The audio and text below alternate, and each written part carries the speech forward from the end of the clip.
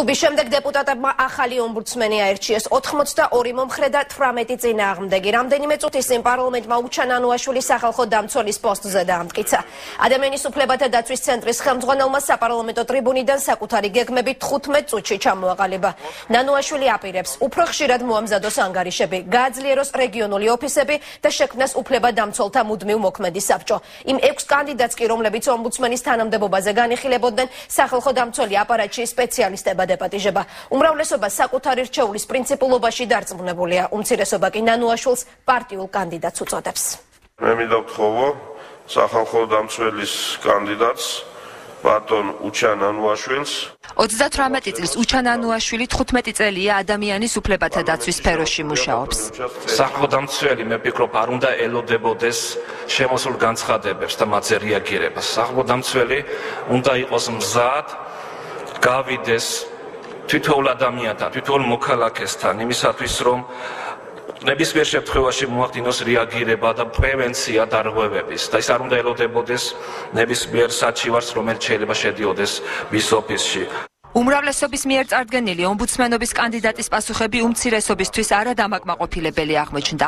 აკაკი მინაშვილი დაინტერესდა მოახდენდა თუ არა რეაგირებას მომავალი ომბუდსმენი ადგილობრივი თვითმართველობის წევრებზე ზეწოლის ფაქტებსა და თენგის გუნავას დაკავებაზე. როდესაც არსებობს რაიმე ვიდეო ან სხვა სახის მტკიცებულება დოკუმენტი, რა თქმა უნდა შესაბამისად შემიძლია რაიმე განცხადების გაკეთება.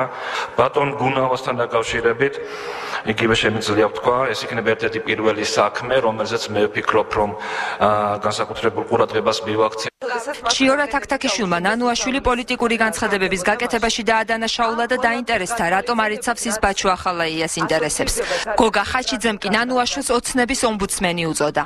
როგორ? ერთ სიტყვით შეიძლება ითქვას, რომ ბატონო უჩა თქვენ გძანდებით ოცნების ომბუდსმენი. ეს გნებავთ კომპლიმენტად მიიღეთ, გნებავთ პარტიულ კუთვნილებად, მაგრამ ეს არის ფაქტი. რატომ არ თვლით და რატომ არ გამოეხმაურეთ ამ ფაქტს, როგორც ძალიან კონკრეტულ მაგალითს ბაჩო ახალაიას მიმართ პოლიტიკური შურისძიებისა?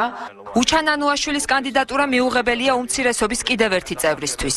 როდესაც ახლა ჩვენ ვითხოვთ ვირჩევთ ახალ სახალხო დამცველს, ჩვენ უნდა ვიკითხოთ არის თუ არა ბატონი ნანუაშვილი ასეთი ადამიანი, არის თუ არა ის ის ადამიანი, რომელიც შეძლებს ამ მაღალი სტანდარტის სათანადო სიმაღლეზე შენარჩუნებას, იქნება თუ არა ის ხალხის და არა ცალკეული პოლიტიკური პარტიის წარმომადგენელი.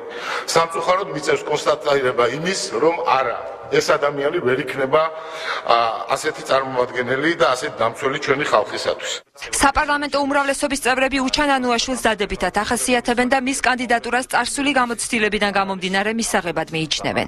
ჩემთვის პირავად პირადად ორმაგად სასიამოვნოა დღეს ამ გადაწყვეტილების მიღება, იმიტომ რომ უკვე 10 წელზე მეტი ხანია, რაც ბატონო ჩასთან მაქვს ურთიერთობა, როდესაც მე თავადაც უფლებადამცველი ვიყავი და არასამთავრობო ორგანიზაციის წარმომადგენელი და მეორე იმიტომ რომ ისიც საგარეჯოედია და ამიტომ ბუნებრივია კიდევ უფრო მეტად მივესალმებ.